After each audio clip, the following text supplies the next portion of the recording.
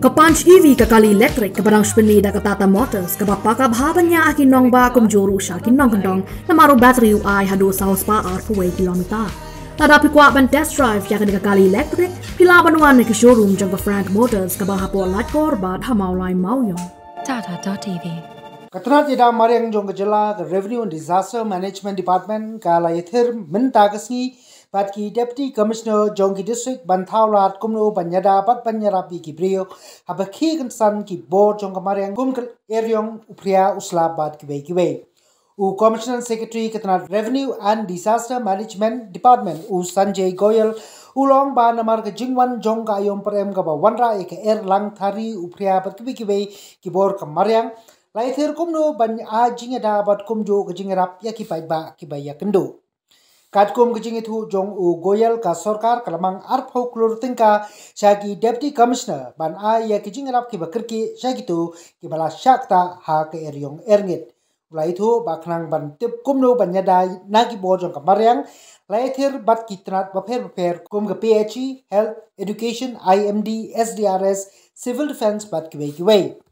La bencet lagi deputy commissioner Ban ya kebedon kam habedon kenu kenu ke jing sha thir ha kebo jong kemariang. Ban pensok bat ban penset ya ke jing mere habedon kenu kenu ke jing nagi bo jong kemariang. Labu ya ke control room kawan trikam baro arpu sau kenta. Ugoyal ula ongru bala community baka eryong kit slap kabajur kandang beteng hadu ubnai jelli ubanwan. This uh, state level uh, coordination committee meeting uh, which is in connection with the preparedness for the monsoon. As all of us are aware, the, the normal date for uh, setting up the monsoon in the state is, uh, the first week of June. And uh, uh in today's meeting, we had the state level uh, uh, departments, important department meaning medical, roads, PHE, our SDRF, our civil defense, IMD, and education. And we were connected with all the deputy commissioners uh, who are also in charge of the relief operations in the districts. So main uh, point of discussions and uh, the uh, directions were like how well we are prepared in terms of the emergency response activities. all the deputy commissioners are holding the level, the district level coordination committee meetings wherein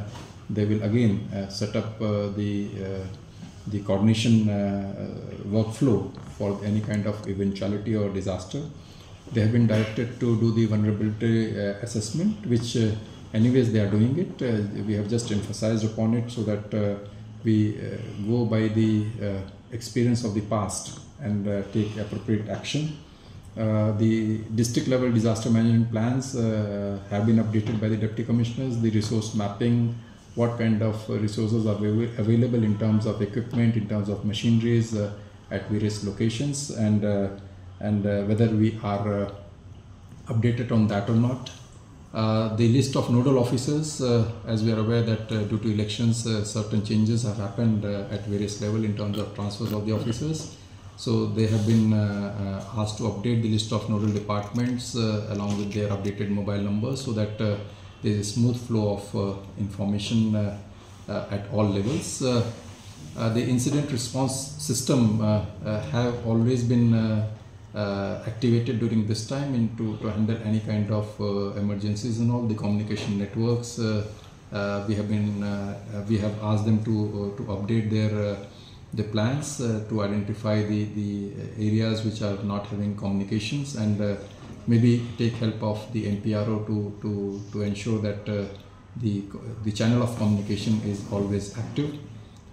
Uh, control rooms, the deputy commissioners have set uh, apart from the uh, control room, the state level control room we have, and uh, they have been direct, directed to activate it 24 by 7, at least till the time the, the monsoons are there, maybe till the month of September and October. So these were the points. Uh, uh, we are well prepared in terms of uh, the, the upcoming monsoon season. And as far as relief operations are concerned, there has always been a practice that uh, we place the uh, funds with, in advance with the deputy commissioners to handle uh, any kind of eventuality. This year also we have done the same, almost around 20 crores of rupees has been uh, placed with the, deputy commissioners to handle uh, uh, Uh, any kind of eventuality. And I would like to uh, uh, highlight one more thing that as reviewed by the Honorable Chief Minister at the state level disaster management authority level meeting, we have observed that there were certain bottlenecks in terms of release of the funds to the beneficiaries at a shortest possible time and uh, uh, that has not been now been taken care of in terms of delegation of certain powers to the deputy commissioners and uh, I'm very happy to, to inform you that in the last uh, one or two events uh, which uh, wherein the cyclonic damage has been done we were in a position to transfer the money into the accounts of the beneficiaries within 24 to 48 hours which is which is a uh, which is a great relief to the public uh, and uh, we have been taking care of their immediate requirement in terms of the repairing of the houses and other relief aspects which are as per the norms from the uh, government of India. Uh, we, uh, we had the officers of the IMD also. These pre-monsoons rains are quite common this part of the country and as per the assessment this is likely to happen uh, for next uh, one week or so. There might be some gaps in between and the monsoon uh, as for them is all set to be on time somewhere in the first week of June. Uh, as per the current assessment, the monsoon uh, is expected to be normal and above normal, so uh, we can expect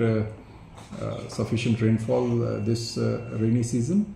And the damage which you are talking about, those were uh, more of the category of the disturbances in terms of cyclonic uh, disturbances and all. Uh, if you talk about this year, I have some rough figures. We have roughly around 2,800 households which have got impacted in terms of either partially damage to their uh, houses or uh, fully damaged, uh, which and this is what I was mentioning about that we are trying to release this immediate relief uh, within uh, 48 hours to the beneficiaries and most of the deputy commissioners have given us the information that uh, uh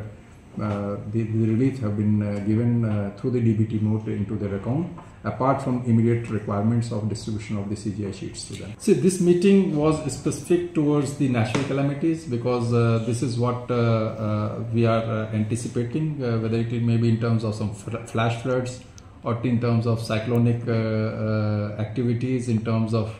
high rainfall in certain areas, in terms of uh, landslides in certain areas, or in terms of uh, uh, falling of the trees, which are resultant of incessant weathers and rainfalls and all. We have covered all those aspects. Man-made disasters are, is a slightly bigger topic, and it it needs to be linked to the vagaries of the the weather, which ultimately lead to disaster but we overall we have discussed it and uh, uh, whether it is a natural uh, cause or a cause which is wherein the human beings are also part of uh, that cause whatever it may be what we are dealing it as as as uh, one uh, entity and uh, we are planning to to have our preparations done accordingly all of them i'll say uh, we are slightly doing uh,